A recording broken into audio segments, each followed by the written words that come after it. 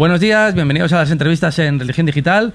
Hoy nos acompaña Mariano Fresnillo. ¿Cómo estás, Mariano? Bien, muy bien. Eh, Gracias por estar aquí, por invitarme a Religión Digital pues, para contaros mi historia, y mi libro y mi mundo. No estamos solos. Tenemos No, no. aquí debajo, ¿cómo se llama? Erco está aquí a mi lado, aquí a mi derecha, mi perro guía que está un poco ahí ah, tumbado, descansando. Y es mi, mi otro yo, de, decir, mi otro yo. ¿Qué, qué supone tener vivir con un, con un perro guía? Eh, para mí supone algo grande. Es, eh, me ha enseñado mucho porque los perros guías son fantásticos. Están educados para guiar, pero te demuestran que todo les va bien, todo les gusta, eh, hacen la vida más fácil. Y a mí me ha enseñado a ser mejor persona porque el perro guía nunca va a hacer nada erróneo, nunca nada equivocado, nada que haga daño a nadie y aprendes mucho con él. Y para mí es una suerte eh, tener un perro guía porque va siempre acompañado. Eh, hay alguien que comparte contigo todo tu día, tarde y noche, y yo no tengo eso de sacar al perro a la calle, no, no, es que el perro me saca a mí. claro, claro, es distinto. El concepto es diferente, y luego el perro guía te aporta eh, un montón de cosas, aparte de guiar, que es lo principal para que sea educado, pues, eh, como te he dicho, un montón de sentimientos, sensaciones que, bueno, a lo largo de su vida compartimos juntos. Y además es precioso, o sea que bienvenido, Erco. Ahí está, guau, guau. Vienes, Mariano, a presentarnos un libro, se llama Comunicar discapacidad en la red, invidente pero, pero visible. Lo, lo coeditas con, con Vive Libro. No es un libro solo tuyo, veo aquí en la portada, aparte de Mariano Fresnillo, a Chema Nieto, a J. Aguado y J. Regueros, que están Jorge, José. Javier, Javier, Javier. los dos. Estos lo tenemos aquí, Javier Regueros y Javier Aguado. Eh, ambos eh, periodistas, uno reportero gráfico y el otro... Sí, los cuatro son periodistas. cuatro sois Somos- periodistas, somos- sois periodistas. Sí, sí, eso es. ¿Qué quiere, ¿Qué quiere mostrarnos comunicar discapacidad en la red? Bien, este proyecto eh, surgió, pues eso, el primer libro que publiqué yo era sobre familia y discapacidad. Y este es sobre comunicación y discapacidad. Son elementos que yo siempre eh, los uno transversalmente eh, con la discapacidad. Uno, la familia, que era importantísimo en el primer libro, y el segundo, la comunicación. Yo soy periodista y me importa mucho que se comunique bien en el ámbito de la discapacidad, que hay mucho desconocimiento en la sociedad general, y en el periodismo ocurre lo mismo, desgraciadamente. Claro, desgraciadamente. Entonces, ¿qué hace este libro? Pues eh, casi no hay nada publicado en esta temática, pues es un tema nuevo y sobre todo en las redes, en Internet, y hoy en día todo vale en Internet, y eso no puede ser. Ni en todo y menos en discapacidad. ¿A qué te refieres con el todo vale? Pues mira ejemplos, pues tú por ejemplo, hay el tema fotográfico que hemos sacado, ¿no? En la fotografía, tú una foto, por ejemplo, de mi perro guía, como está ahora puesto en cámara, ahí tumbado precioso, da gusto verlo, ¿no? Sí. Pero por ejemplo, tú el perro, un día está babeando, sacas una foto babeando, sacas en un medio de comunicación, está haciendo un daño terrible al perro guía. La imagen es penosa, ¿eh? no es adecuada. Y puede salir, ¿no? Pues todo vale, no todo vale. Un ejemplo clarísimo. Una persona en silla de ruedas, con parálisis cerebral, que suelen tener unos movimientos muy espas- espasmódicos y suelen babear a veces porque, bueno, son así su discapacidad. Una imagen así tampoco es correcta. Es como si nos sacaran constantemente a, Claro. a un político sonándose los mocos. Por ejemplo, o claro, claro. la nariz. Pero hay una diferencia, que el político no puede eh, cambiarlo, pero es que eh, hace mucho daño a él, a todo el colectivo y todo el mundo generaliza. Y la sensación de los prejuicios de rechazo. Ahí está, se, se acrecentan y se engrandecen. Entonces, ¿qué hace este libro? Pues decir, oye, estos límites no se pueden pasar. La comunicación de discapacidad tiene que ser de una manera diferente y sensible y sobre todo eh, muy precisa. Y entonces, ¿qué ocurre? Que el elemento principal del libro son 43 artículos que yo he seleccionado sobre más de los 200. Estos artículos se han publicado desde 2010 en socialnews.com, que es una web que yo colaboro, y a la vez en Religión Digital. ¿No Tuve la suerte. sí? Sí, me hiciste un espacio. En el apartado lo puedes encontrar en el más blog. Ahí está el mío, que es Invidente Previsible, que mi marca, Invidente Previsible. Eso es. Hay más de 200, todos los que en el libro están en el blog también, en Religión Digital. Porque semanalmente escribía y los volcaba tanto en un medio como en otro, los medios digitales. Y entonces, ¿qué ocurre? Que de 200 he seleccionado 43 los mejores que yo he visto más un poco de todo tipo de temáticas. Algo de deporte, de cultura, de ocio, todo tipo de temas. Y ocurre que para arropar un poco mis palabras con mi capítulo introductorio y los eh, artículos, la parte principal del libro, Sí. pensé, qué mejor aprovechar para amigos míos periodistas que saben mucho de su temática, aporten cómo hay que hacerlo en discapacidad en su área. Y así, Javier Aguado habla de protocolo y eventos, cómo hacerlo para todos, un evento para todos, porque estoy harto de ir a eventos en el cual no sé ni ubicarme, ni sentarme, me deja desplazado, no me entero de La nada. accesibilidad no es solo colocar una rampa. sino- Eso es, sino integrar a la persona pensar, dentro del claro. evento. Claro, claro, cambiar la mentalidad. Eso es. Luego también fotografía, lo que te, ejemplo que te he contado. En fotografía hoy en día todo el mundo coge de internet todo, pero no todo puede valer y todo vale. Y ahí está Javier Regueros, que ha hecho fotografías con gente de discapacidad, bueno, es la persona que más ha hecho yo creo en España. Y luego Chema Nieto, que me introdujo en el tema de redes sociales, cuando eran inaccesibles, porque se generaron como inaccesibles. Sí. Y entonces yo peleé ahí con ellas, tal, ahora son mucho más accesibles, pero no al 100%. Y Jesús es una vergüenza que en el siglo XXI, cuando decía digital, aparezca algo nuevo, inaccesible para cualquier tipo de públicos. Sí, porque el mundo digital, ¿cuál es vuestra relación? Porque antes de comenzar la entrevista estaba estábamos los dos colocando en modo avión el, nuestros iPhones sí, sí, sí. y en el, en el caso del iPhone sí que parece resulta más sencillo, al menos en tu caso, porque ah, la tecnología táctil y la, y la, y la sonora pues están, están ahí. Pero en el mundo digital, en- cuando quieres entrar en religión digital, por ejemplo, vamos a, a ser autocríticos nosotros mismos, eh, ¿qué pro- te, te encuentras con una serie de problemas importantes, imagino. Bueno, en el caso de la edición digital, afortunadamente es accesible y muchas lo son, pero algunas que no. ¿Qué, qué ocurre? Que la gente eh, asocia accesibilidad con diseño feo o diseño no atractivo. No es verdad. Se puede hacer atractivo y accesible o usable. Usable. ¿Qué diferencia hay? Que tú puedes usarlo y sea accesible. Yo, por ejemplo, una vez entré en una web de una comunidad autónoma, no voy a decir cuál, y al principio había la carta del presidente que leí entera, con mi programa de voz, que lee todo en pantalla, y luego no podía entrar a la página. ¿Sabes por qué? Me ponía una mano, pincha aquí, pero no está etiquetado. Ah. Simplemente no saber de que se etiqueta con un texto, de voz lo coge y puedo pinchar ahí con un enlace. Claro. Es no saber, entonces eh, parece mentira que una institución pública haga ese tipo de cosas, pero ¿qué ocurre? Que somos, hemos ido cambiando afortunadamente a mejor, queda mucho por hacer. Y el ejemplo de Apple lo hay que decir la marca, porque es que hay que decirlo cuando la gente lo hace bien. Sí, sí. Y Apple hizo algo espectacular. Mira, ¿En qué consistía? el móvil. El primer móvil que tuve yo era sin pantalla. Una empresa decidió hacer un móvil para sin- para, que todo- para- no, como lo ven. Entonces yo un móvil sin pantalla y funcionaba bien. Pero ¿qué pasaba? Que un día se estropeaba el móvil y el Jesús, mírame a ver qué pone aquí. Ah, es que no puedo mirar nada porque no hay pantalla. Claro. Entonces dejaba vendido. ¿Qué para qué? Esa no es la línea. La línea un es. gueto para, para personas con discapacidad. Claro. Lo pueden utilizar personas con discapacidad. Eso es, la línea es hacer diseño para todos. Ajá. O sea, todo para todos. Quiere decir, ¿qué hizo Apple? Steve Jobs, que fue un genio, y también para nosotros, cuando creó su tecnología Apple de iPhone, iPad y todo eso, a sus ingenieros les dijo, iros a la universidad y que digan los ciegos qué hay que hacer para que todo sea para ellos accesible. Así lo hizo. Y fueron los ingenieros allí, preguntaron a la gente ciega y fueron con todas las pautas para hacer elementos accesibles. ¿Y qué pasó? Que yo compro este iPhone en el mercado y tú tiras como yo igual. Sí, sí, el identificador de voz es súper interesante. Pero llegas a la parte de ajustes, accesibilidad, voiceover y activa una voz que hace el móvil accesible al 100%. Ajá. Una maravilla. Eso en Pero mira, cualquier, en cualquier mira, mira, iPhone. Desbloquear. Desbloqueo. Pongo el código. Entra, ¿ves? ¿Ves? Ajá. Una maravilla. Eso todo, en todos los iPhones, en todos los iPads. Cualquier elemento Apple accesible al 100% su, su herramienta. Qué brutal. Entonces es una maravilla porque pues, nos permite yo, a través del móvil, como periodista, entrar en WhatsApp, en Facebook, en las redes sociales y todo a través, como todo el mundo, pero Dictar, a mi manera. dictar un artículo. Claro. Que llegue inmediatamente a Con la el redacción. Siri ahora, es una maravilla. Sí, sí, sí, O sea, sí. son elementos que valen para todo el mundo, para todo el público, y luego tú, si quieres utilizar o no, pero dar la opción. Y entonces ahí Apple ha marcado una pauta clarísima. Otros están copiando el modelo, pero realmente hay que hacerlo así. Es buscar eh, herramientas que valgan para todo tipo de públicos y luego active cada uno su funcionalidad que le, le viene bien. Entonces, el tema digital, pues como estás viendo, nos revoluciona la vida. Si a vosotros, al público normal, eh, la vida les ayuda, a nosotros nos cambia la vida.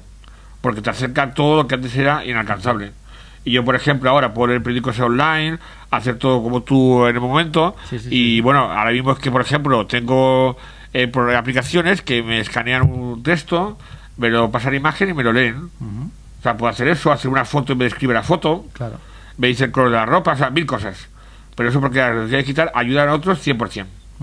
La, ¿Qué diferencia ves entre mm, tu infancia, tu, tu juventud, tu, tu- el, el tiempo en el que tú pudiste aprender, tuviste que aprender, tuviste que estudiar, como cualquiera de nosotros, Sí, tuviste sí. que buscarte una profesión y las oportunidades que tienen los chicos con discapacidad hoy? Ah, bueno, es una cosa, un abismo, un abismo. Solo te pongo un ejemplo. Yo hacía exámenes en la facultad todo orales.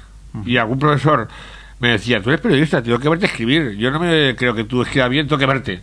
Y me hacían ir con la máquina de escribir en tinta antigua esa que pesaba un montón. Sí. En el metro a la facultad con ella y hacía exámenes sin ver con la máquina y le cogía papel, se lo enseñaba al profesor para que lo leyera. Tela. ¿Por qué tela? Porque hoy en día coges tu ordenador, lo grabas en un pen. Sí, o en un sí. CD, se da al profesor, lo lee y digamos todo limpio, rápido, online, fantástico. sencillo. Bueno, una- Claro. no, no- no hay color. O sea, es un cambio, pero al mil por cien, ¿eh?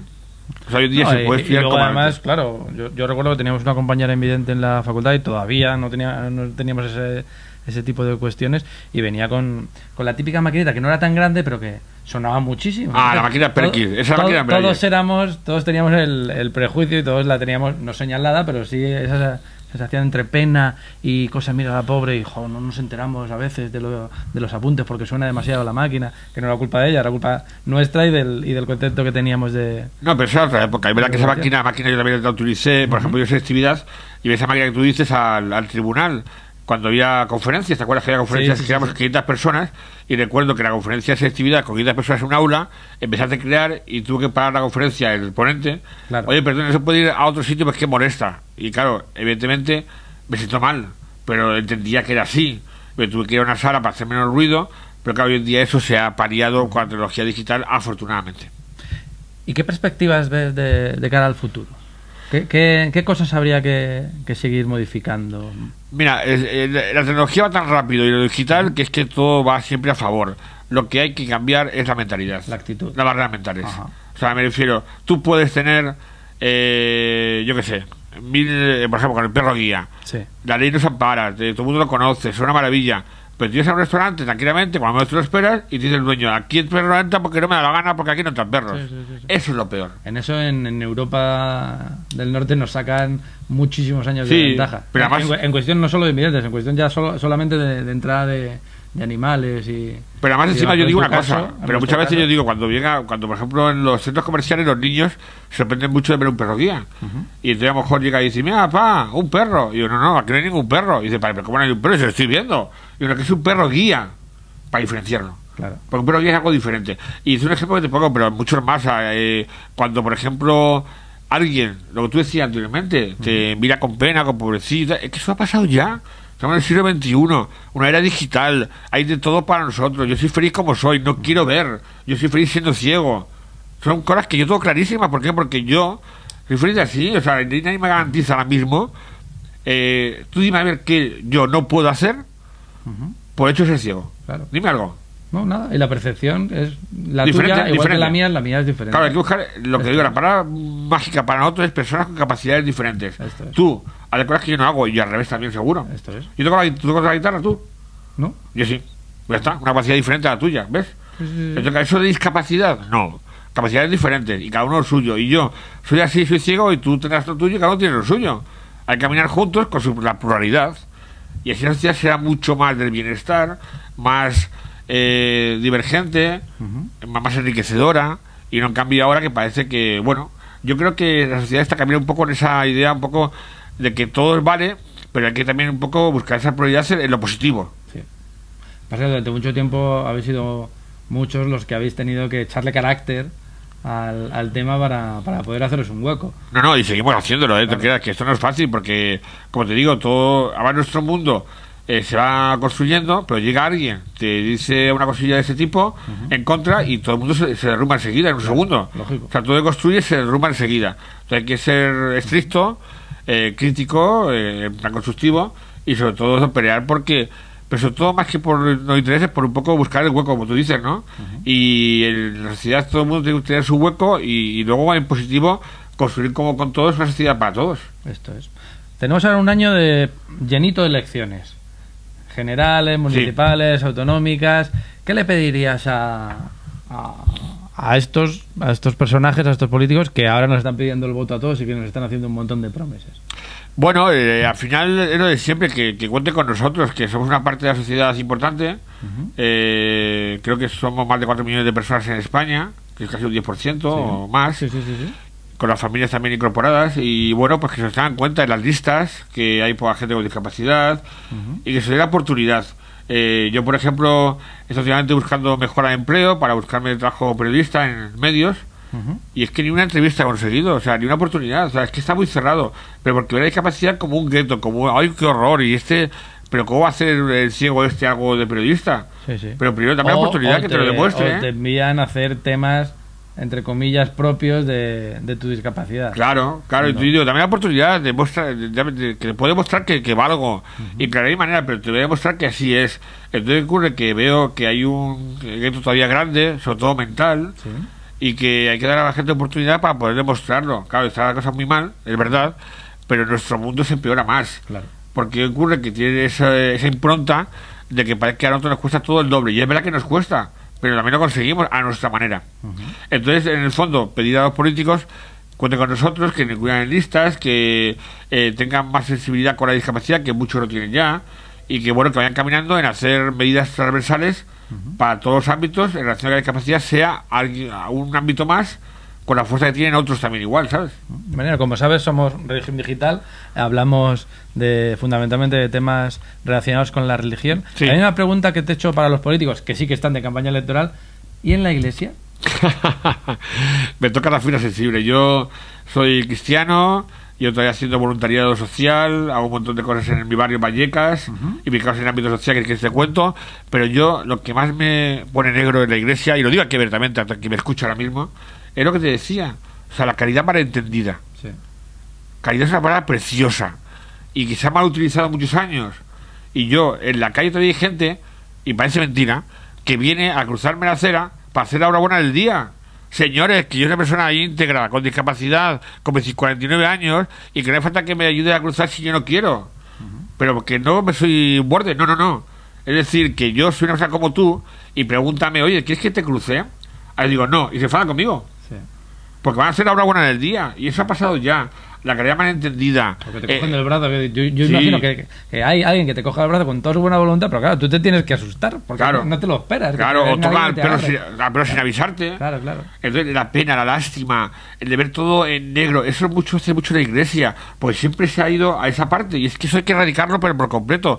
La capacidad se dibuja en color, es algo que es un mundo diferente. Y luego, igual las celebraciones, porque a veces me, me he topado que vienen curas y me dicen, en vez vente a la unción de enfermos para que entres como uno más. No, es que no soy enfermo, soy discapacitado. Es que no soy enfermo. O por ejemplo, en las lecturas, eh, ¿puedes leer? Pues claro que puedo leer. Claro. Con el iPhone, con Braille, como sea, pero dame la oportunidad. Hay que decir a todos, se puede, hay que hacer el esfuerzo, y hoy hay mi manera para hacerlo. Por ejemplo, en las celebraciones para gente sorda, que solo tiene una parroquia en Madrid, la mañana del silencio, que la conozco, pero allí eso es tremendo, es tremendo.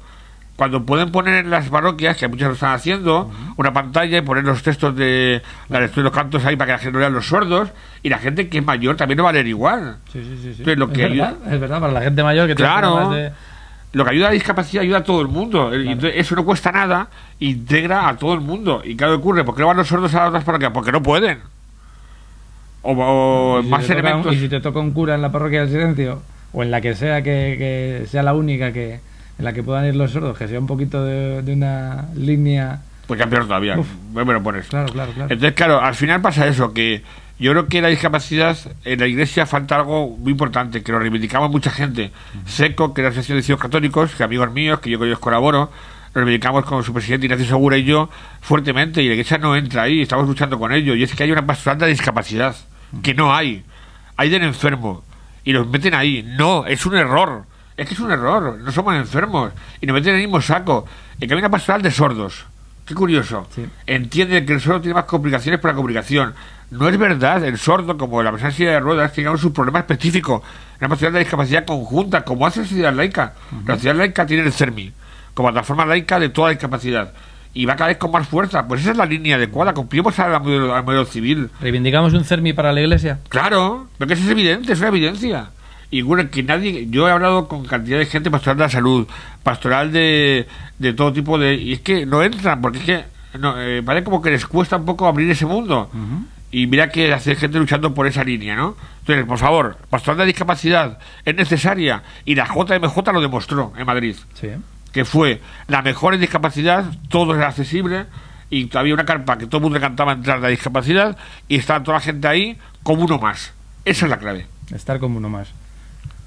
Estar como uno Sí, más sí. es la clave. Es la clave. Porque si no, al final, eh, la- sociedad se, se convierte en una sociedad incapaz. Claro, y Ni siquiera utilizamos la palabra discapacidad, peor, incapaz. ¿no? Justamente, justamente. incapaces de integrarnos todos en una misma sociedad y también en una misma iglesia, porque Jesús no vino a predicar el Evangelio a los que tuvieran pelo eh, y dos piernas y dos brazos. Claro, así, así, así, así es. a así predicar es. el Evangelio a todos. Mariano, ha sido un auténtico placer. Eh, el libro Comunicar, discapacidad en la red, invidente pero visible, en Vive Libro. ¿Dónde lo podemos encontrar? Eh, bueno, eh, se suele encontrar en varios, eh, creo que en el corte inglés también, digo, el sitio de la marca y en varios lugares se suele encontrar. Y haremos presentaciones en Madrid y por ahí, pero sí, en sitios convencionales se puede encontrar. Vale, tienes al final del libro que puedes conseguir este libro en sbook.com. Eh, también, también. Lo Y- colocaremos aquí en un, en un rotulito para que los que quieran eh, lo, lo puedan y desde allí lo puedan, lo puedan comprar. Sí, lo que me, que me sigan también en Religión Digital, en Invidente Previsible. Invidente Previsible es la marca mía que un poco visibiliza esto que estamos contando, ¿no? La, la ceguera, que hay mucho desconocimiento y un poco a través de este libro y eh, vuestro blog y muchas cosas más, a- hacer ese huequito y poco que alguien piense un poco en nosotros y que a través mío como periodista, pues un poco se tenga en cuenta a gente diferente, pero también que tenemos que nuestra parte también de voz. Hay que cambiar esa, esa actitud en el lenguaje y en la, y en la Por supuesto. presencia. Y en la... Os agradezco mucho a Religión Digital, como siempre, este hueco, siempre sensibles un poco a nuestro mundo. Y eso, a caminar en eso, en ir avanzando más, a siempre caminar más. todos juntos y a seguir construyendo una sociedad mejor para todos. lo Veas o no veas, eso es. Esto es. Porque total, al final, va a haber que ver. Muchísimas gracias, Mariano. Y Venga. a, y a Erco también. Sí, aquí hemos está. hablado mira, de él, oh, pero, ver, pero ahí mira, le tenemos. mírale, aquí está, mírale, Guapísimo. oh. Dos añitos, ¿no? Me dijiste. Tiene tres, tres. Tres. Sí, mira, tres y pico. Y aquí está el tío, mira, majo, que mira, Erco, ¿qué? Mira, mira. Saluda a la cámara. Mira, mira, mira. Di algo, di algo. Claro, no dice nada porque está ahí. Ahora mismo está operando socialmente como tiene que ser. Claro. Súper guía, educado y correcto. Mira, qué majo es. ¿eh? Hola, Erco. Bueno, vamos a ir, ¿vale? Nos Venga. despedimos. Vale. Pues un placer, Mariano, Gracias, Erco. y Muchísimas todos. gracias a vosotros. Y a ustedes, pues les esperamos en nuevas ediciones de las entrevistas en Religión Digital. Muy buenos días.